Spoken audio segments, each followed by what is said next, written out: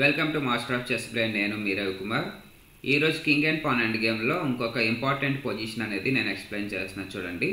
Pan అనేది sixth ర్యాంక్లో ఉన్నప్పుడు కింగ్ టు కింగ్ అపోజిషన్ అనేది ఎలా వర్క్ చేస్తుంది?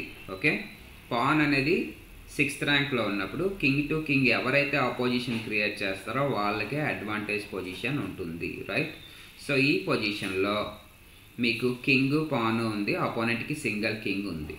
సో మనం చెప్పుకున్నాం కదా అపోజిషన్ రూల్ ప్రకారం ఏమో ఆడాలి కింగ్ టు ఏ సిక్స్ ఆడినట్లయితే అపోనెంట్ కింగ్కి అపోజిషన్ అనేది వస్తుంది. అదే మీరు king to be six ఆడినట్లయితే there is no opposition okay king A six ఆడితే విన్ వస్తుంది కింగ్ బీ సిక్స్ ఆడితే స్టేల్మేట్ అయిపోతుంది ఓకే ఒకసారి చూద్దామా? King to B six wrong move చేద్దాం ఫస్ట్ కరెక్ట్ మూవ్ తర్వాత ఎక్స్ప్లెయిన్ చేద్దాం. సో కింగ్ బి ఎయిట్ వాళ్ళు అపోజిషన్ క్రియేట్ చేశారు సో అపోజిషన్ వాళ్ళు క్రియేట్ చేస్తే వాళ్ళకి విన్నింగ్ మెటీరియల్ లేదు కాబట్టి గేమ్ ఖచ్చితంగా స్టేల్మేట్ కానీ డ్రా కానీ అయిపోతుంది. సో అందుకని అపోజిషన్ రూల్ అనేది చాలా చాలా important okay so pawn push చేశారనుకోండి.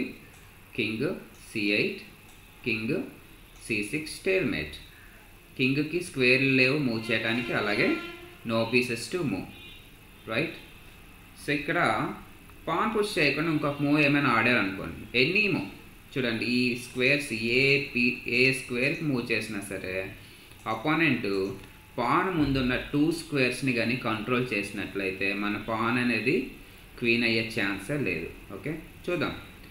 కింగ్ సి ఫైవ్ ఆడారు అనుకోండి కింగ్ సి సెవెన్. ఆ టూ స్క్వేర్సే మూవ్ చేస్తారు. ఇంకే స్క్వేర్స్ కూడా మూవ్ చేయరు. King D five. ఈ రెండే ఆడతారు. కింగ్ డి సిక్స్ ఇక్కడ మళ్ళీ ఆపోజిషన్ రూల్ ఫాలో అయిపోతాడు. King to D eight so king అనేది మన కింగ్ అనేది సి సెవెన్ సి ఎయిట్ స్క్వేర్ని కంట్రోల్ చేసే ఛాన్స్ లేదు కాబట్టి గేమ్ అనేది స్టేల్మేట్ అయిపోతుంది. Pawn push king C eight king C six stale so అందుకని కింగ్ బీ సిక్స్ ఆడితే అపోజిషన్ రూల్ రావటం అనేది స్టేల్మేట్ అయిపోతుంది కాబట్టి కింగ్ ఏ సిక్స్ చూద్దాం. కింగ్ ఏ సిక్స్ వచ్చినప్పుడు పాన్ సిక్స్త్ ర్యాంక్లో ఉన్నప్పుడు అపోజిషన్ రూల్ ఫాలో అవుతున్నాం కదా. సో మనకి విన్నింగ్ పొజిషన్ అనేది వస్తుంది. చూడండి ఓన్లీ మూవ్ మళ్ళీ opposition rule king B six. ఇక్కడ టూ స్క్వేర్స్ ఉన్నాయి. కింగ్ సి ఎయిట్ ఆడితే ఏమవుతుంది? కింగ్ ఏ ఎయిట్ ఆడితే ఏమవుతుంది? ఓకే?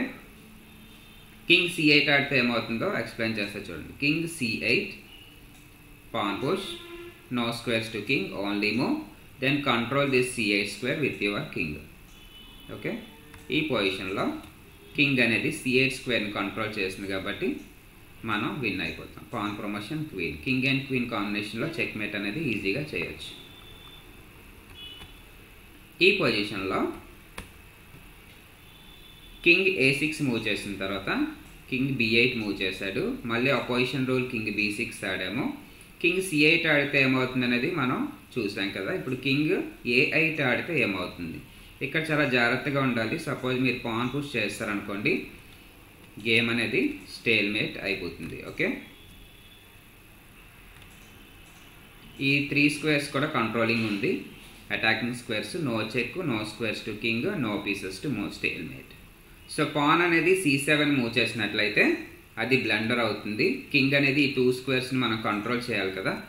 సో అందుకని కింగ్ మూవ్ చేయండి. King to C seven king A seven only move king D seven మన కింగ్ అనేది C seven square C eight స్క్వేర్ని control చేస్తుంది కాబట్టి పాన్ అనేది క్వీన్ అయిపోతుంది.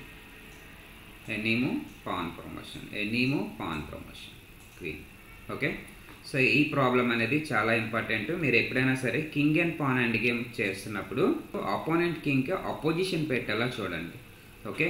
ఎప్పుడైతే అపోనెంట్ కింగ్కి అపోజిషన్ పెడతారో వెంటనే మీకు విన్నింగ్ పొజిషన్ అనేది వస్తుంది. రైట్ సో అపోజిషన్లో కూడా చూడండి వన్ స్క్వేరే ఉండాలి. రైట్ ఇది కూడా అపోజిషనే ఉంది. కానీ ఇక్కడ టూ స్క్వేర్స్ ఉన్నాయి. టూ స్క్వేర్స్ కాదు ఓన్లీ వన్ స్క్వేర్ రావాలి. ఎప్పుడైతే కింగ్ టు ఏ సిక్స్ మనం మూవ్ చేసామో వెంటనే మన కింగ్ టు కింగ్కి అపోజిషన్లోని ఓన్లీ వన్ స్క్వేరే ఉంది కదా అది చాలా చాలా ఇంపార్టెంట్ ఈ వీడియో మీకు నచ్చినట్లయితే లైక్ చేయండి సబ్స్క్రైబ్ చేయండి మన ఛానల్ని షేర్ చేయండి. జై హింద్ జై భారత్.